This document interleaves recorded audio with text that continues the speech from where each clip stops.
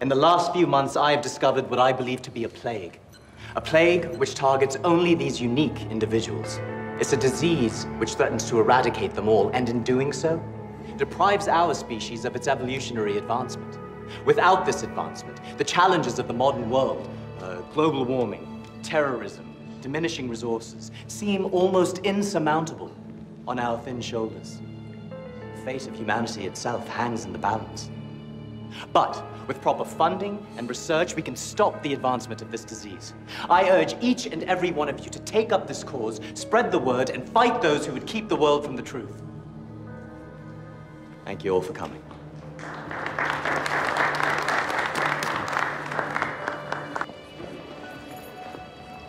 Inspirational lecture, Dr. Suresh. I, I was wondering if I could trouble you for an autograph. Your father would have been so proud.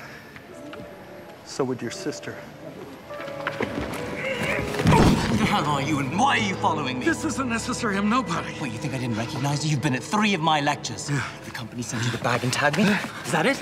A year ago I would have run, but not anymore. Well, that's good because if you had, I wouldn't be able to offer you a job. I've been down that road before. It doesn't end well. Where will you go, Dr. Suresh? No one even believes they exist. I found your father's book in the parapsychology section, in between hypnosis and alien abductions. They don't take you seriously. They all think you're nuts. But not me. So, if you're really interested in saving the world, the least you could do is let me buy you a drink. Who the hell are you to judge who lives and who dies? If I'm not mistaken, you yourself tried to put a bullet in the brain of a man named Sylar? He was a monster. Yes. And you were willing to kill him for the greater good. You acted on a moral imperative to protect your species. It doesn't matter one way or the other about Sylar. He's no longer a threat. He's dead. And now you have Molly. You and Matt Parkman are protecting her. Now, we're not interfering with that arrangement, far from it. We're offering to help you. We have resources to offer you, Dr. Suresh. The, the plague you talked about, the disease which killed your sister Shanti. The virus.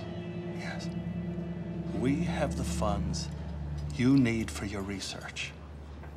Now, can you imagine what would happen if that virus mutated and crossed over into the general population? Look, the type of research you're talking about is extremely expensive. Trust me, that won't be a problem.